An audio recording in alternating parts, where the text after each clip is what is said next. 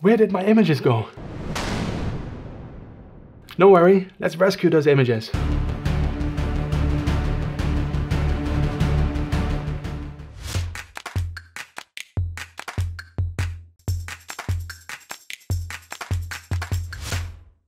Welcome to How to Power BI. My name is Bas, and if this is the very first time for you visiting this channel, then make sure to hit that subscribe button if you want to stay up to date on all of my videos in which I share everything I know about Power BI.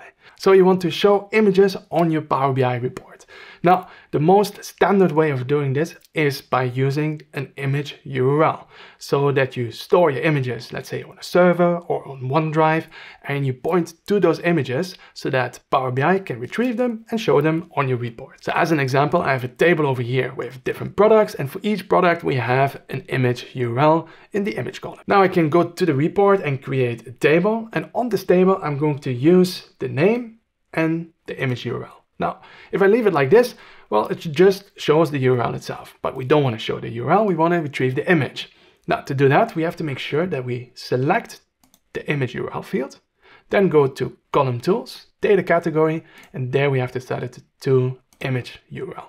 And as soon as you do that, it will retrieve the images and show them in your table. And that's it. Now that all works perfectly fine until the image URL changes because maybe the images are stored in a different location or maybe you just simply don't have any internet while you're looking at the report in Power BI Desktop and then what you see is, well, just a placeholder for these images, which is of course not so pretty. So that is the big disadvantage of using this approach. And of course, it's also a question, where are you going to store these images and how can you easily retrieve the image URLs themselves? As an alternative, we can also take these images and encode them as text and store that inside of our data model. And Power BI will be able to show images on the basis of that encoded text. Now let me show you how that works. Now, let's say we have our images in a folder. Now this folder can be on your laptop, but can also be on a shared network drive or on SharePoint. Now we're going to connect to the folder. Now in my case, it's on my laptop. So just select folder, click on connect, choose the folder with the images,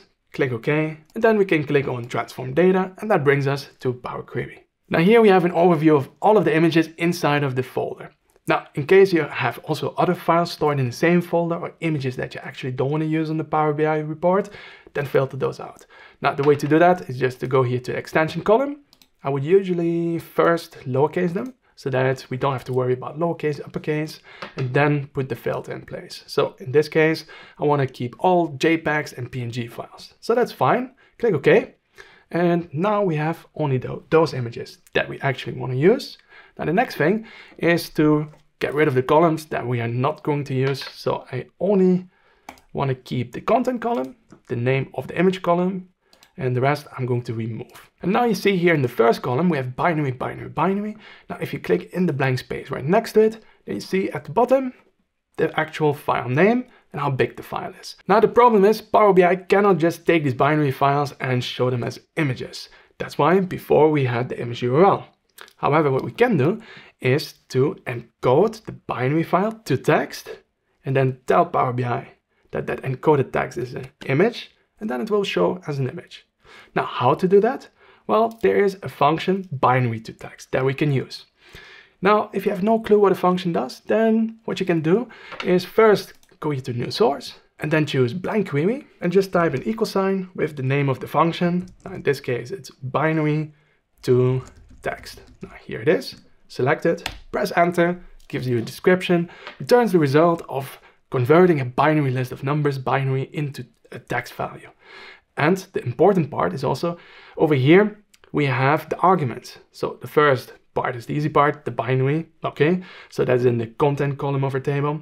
The second part, there we need to say what the encoding standard is that needs to be used. Now in this case, it is common to use base64 encoding that we can then use as a second argument. All right, so now that we have this figured out, can go back to the table. And here we're going to add a new column, custom column, give the column a nice name. So image, and then here we can write the formula. And the formula is going to be binary to text. Now, there you go then bracket open. Now the first argument was the binary itself, which is every time in the content column. comma. Then the second part, there the encoding standard, which was the base64 encoding that we could use. And you see, as soon as I start typing encoding, uh, it pops up over here. That is the standard that we want to use. Close the brackets.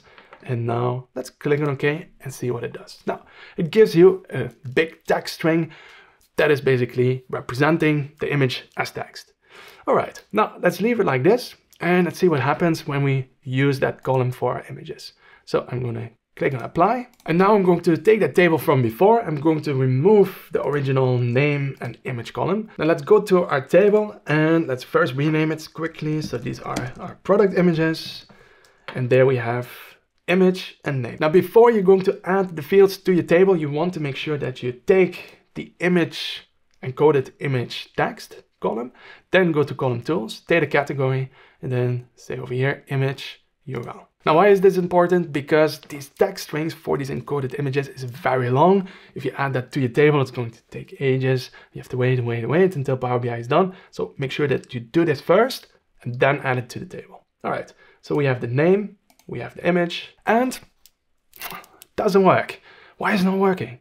Well, because we forgot one important thing. Let's go back to Power Query. And I'm gonna go to our query where we added the custom column. I'm going to edit it. And there we have to put a constant text right before the encoded image text. Now, it's going to be constant, so therefore quotation mark, quotation mark, and then to combine it later with the rest, an ampersand sign. Now, in between the quotation marks, you have to add the following. Data, then colon, image, then semicolon, and then base 64 is the encoding standard, comma space, and that's it. Let's click on OK, cross our fingers and hope it works. So I'm gonna go back, click on apply. And you see, there we have our images. Or, well, more or less, because over here, card number two, hmm, we only see half of the image. And card number three is almost not visible at all, only the top of the roof, that's it. But for the other ones, it works. But what is going on with car number two and car number three? Now here we have still a problem with those two images because of the following reason. Let's have a look at the table. And here we have the image column with the encoded images. And the text of these encoded images is quite long. And the maximum length is only 32,000 characters. And if you have a high quality picture, well, it's going to have more characters. So the higher the quality of the images, the longer the encoded text will be. And if it goes over 32,000, well, you have a problem because it just cuts it off and you only see part of the image, the top part. All right, so what is the workaround and how can we make this work? Well, the workaround is to make sure that your images are not over a certain size. So in our case, we have a problem with car number three and car number two. So let's have a look in our file explorer how big these images are. So straight away for car number three, you see what the problem is. We have one and a half MB in size. And for all of the other ones, we have a size of around 20 to 30 KB, which is a huge difference. And another thing that you might notice is that for car number three, well, it's a PNG file and PNG files generally are a little bit bigger than JPEGs. So therefore, if you can, store them as JPEGs. And then for car number two, well, you see that the size is more or less the same. However, still it was cutting off a little bit of from the bottom. And actually for the other ones, it's also not showing the entire image. It's just the lower part of the image was white. So therefore you didn't clearly see it over there. Now, how do you know if the size is small enough? Well, what we can do is we can just add a column and count the number of characters. So I'm going to add a column to show you. And here I can name this column text length and then use the len function and we refer to the image column. And you see for most of the images we have an encoded text string that has more than 32,766 characters, but it gets cut off. However, it's not very visible because for most of these images the lower part is white. So we were kind of lucky with these images that we chose. However, not good. We have to make sure that we end up with a text length that is a little bit smaller. Now, what can we do to get this text length for these encoded images a little bit lower? Well, we can, well, decrease the file size. Now, first of all, I usually go, would go for JPEGs because they're generally a little bit smaller. And on top of that, we can compress the images. Now, let me walk you through the steps taking car number 3.png as an example. So I go here to my file explorer and I open car3.png You see, beautiful car.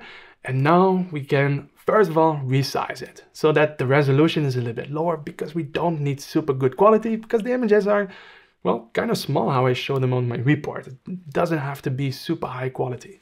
So I go for a little bit lower resolution. So let's call this one low resolution. And you see that already makes a huge difference because instead of having one and a half MB, we have now 172 KB. All right, but we can do better because it's still not enough. We need to be in the range of 20 to 25.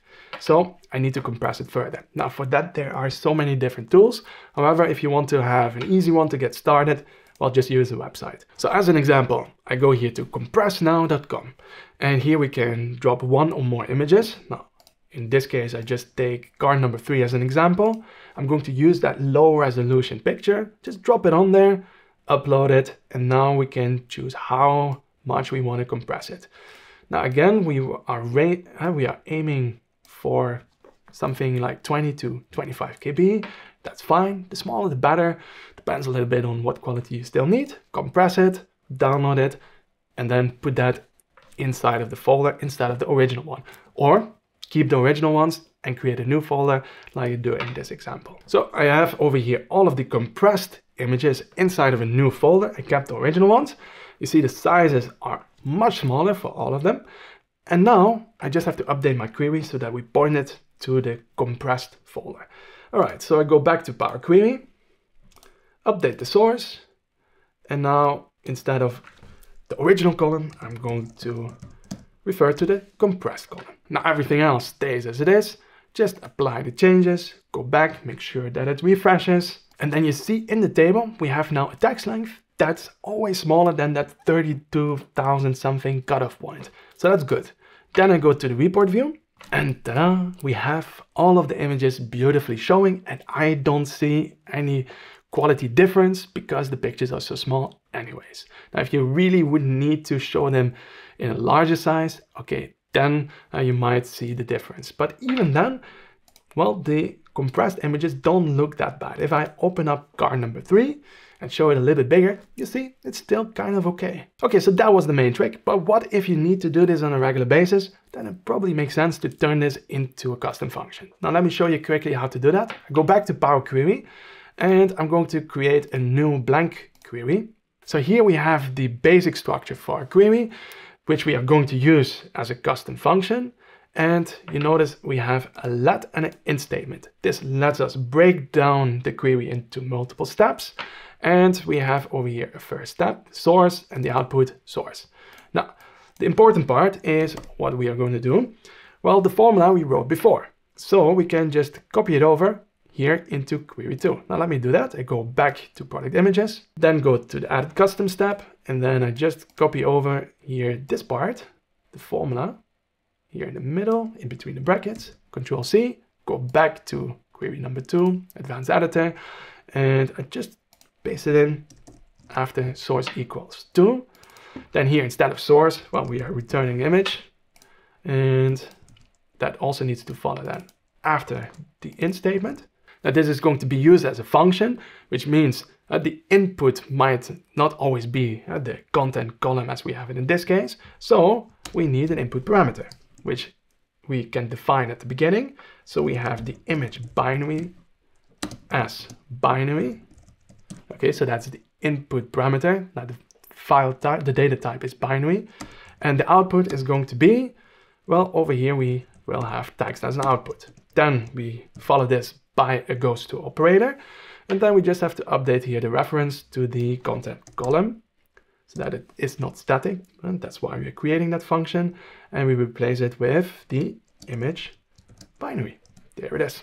Click on done. And then we can give this function also a nice name. So over here on the properties, we can rename this one to uh, binary to image. So now that we have the function, we go back to our original query, product images.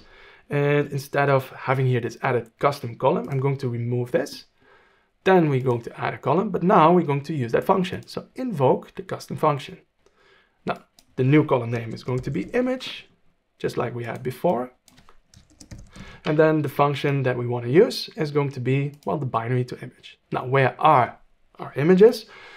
In the content column. Click OK. And there you go. We have exactly the same result as before. You might be wondering, why would you do this then? Well, because if this is something that you do on a regular basis, then you probably don't want to uh, retype this formula over and over again and try to remember. No, instead, you just copy over this custom function, use that instead much quicker. Now, the next question that you might have is, what if I don't have my images in a folder, but maybe I have them, well, as a URL and I want to encode those images? Well, it's just a small change that we have to make. The idea stays exactly the same.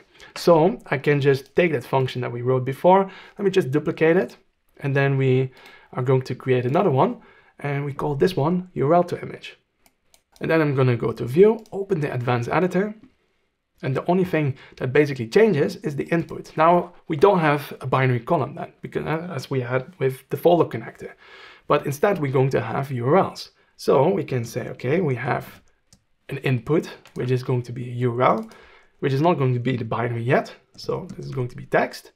And then over here, what we need to change is, well, the binaries that we get from uh, the content column before. Well, this part we want to change. And this is going to be web.contents because we still have to fetch those binary files. And then where are these binary files? Well, we just follow the URL, which is the parameter that we defined for the function and click on done. That's it. You see, it follows exactly the same logic. So this is how you can take your images and store them as text inside of your data model so that you don't have to be worried about broken links or where to store your images. Now, if you have any questions, just let me know in the comment section below. Thank you very much for watching and I see you in the next video.